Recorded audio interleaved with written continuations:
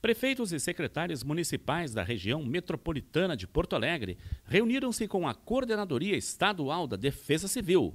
A pauta tratou dos prejuízos do excesso de precipitação.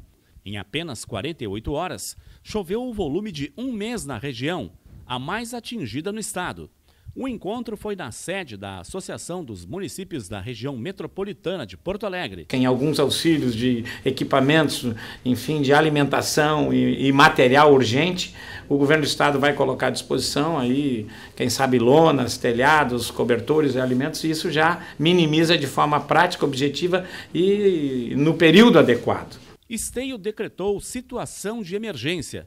É o segundo menor município em área no estado e um dos mais prejudicados. Por esta que foi a maior enchente da história da cidade, com maior volume, maior altura e também a maior mancha de inundação, então, portanto, a maior extensão né, que foi atingida na nossa cidade, que é cortada por três arroios, né, o Esteio e o Sapucaia, que são conhecidos, e o canal Guajuviras, que chega no arroio Sapucaia, ali por trás da refinaria Alberto Pasqualini. E ainda temos o Rio dos Sinos.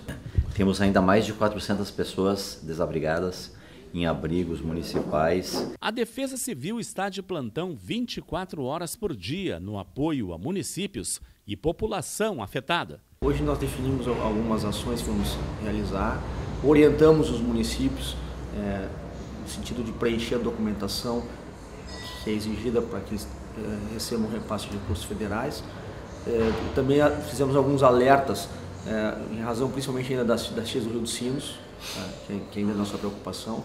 Então foi uma reunião de trabalho, uma reunião importante, que nós é, definimos algumas ações para minimizar e acompanhar a situação das, das cidades mais atingidas nos próximos dias. São 12 equipes distribuídas no todo o interior do estado, 13 equipes especificamente na região metropolitana. O contato com a Defesa Civil, também para o apoio aos desabrigados e desalojados, é pelo telefone 199 You.